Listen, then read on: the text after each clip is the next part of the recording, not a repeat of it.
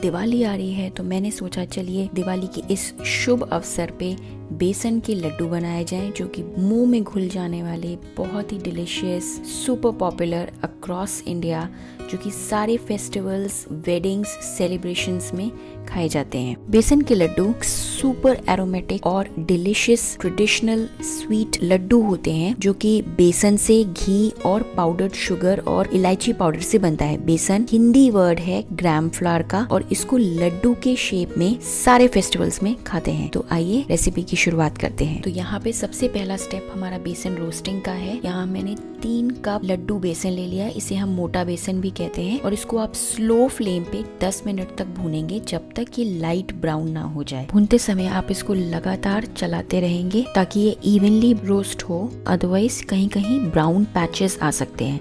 अब इसमें हम एक कप देसी घी डालेंगे और देसी घी आप स्मॉल पोर्शंस मतलब कम कम मात्रा में डालिएगा और इसको अच्छे से मिक्स करिए और इसके बाद बचा हुआ देसी घी डाल दीजिए। अगर आपको लगता है कि बेसन अच्छे से देसी घी में नहीं लिपटा है तो आप थोड़ा सा घी और भी डाल सकते हैं। घी में बेसन को अच्छे से भूनिए, जब तक बेसन गोल्डन ना हो जाए और उसमें अच्छी बढ़िया खुशबू ना आने लग जाए। लगभग 20 मिनट के बाद आप देखेंगे कि बेसन घी छोड़ने लग गया है साइड से। ये इंडिकेशन है और हमारा रोस्ट किया हुआ लड्डू बेसन तैयार है।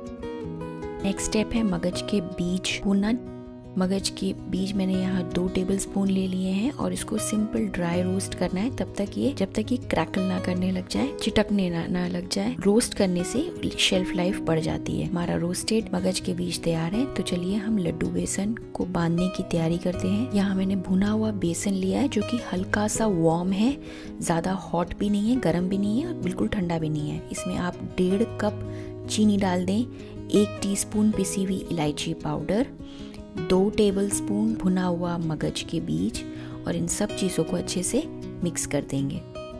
जब आप बेसन को शक्कर में मिक्स करते हैं तो बेसन बिल्कुल भी गर्म नहीं होना चाहिए हल्का हल्का गुनगुना होना चाहिए। अब इसके बाद आप एक मुट्ठी भर बेसन लीजिए और उसको अपने हाथों की सहायता से चारों साइड से लड्डू के शेप में या एक बॉल के शेप में बनाइए। आप जितना जो भी साइज़ बनाना चाहते हैं, अपनी पसंद के हिसाब से बना सकते हैं। मैं सारे लड्डू ऐसे ही बाँध के बना लूँगी और देखिए हमारे क्विक यमी डिलिशियस बेसन के लड्डू तैयार हैं। आप इस रेसिपी को ज़रूर ट्राई करिएगा और मुझे प्लीज़ बताइएगा कि आपकी बेसन के लड्डू कैसे बने। तो चलिए मिलती हूँ आप सभी को अपने नेक्स्ट वीडियो में। होप करती हूँ कि आपको ये यमी डिलीशियस दिवाली स्पेशल बेसन के लड्डू पसंद आए होंगे। अगर ये वीडियो ज़रा भी पसंद आया है तो please friends give it a like और कमेंट करके मुझे बताइए और चैनल को सब्सक्राइब करना बिल्कुल मत भूलिएगा। तब तक के लिए आप सब अपना ध्यान रखिए। Take care everyone bye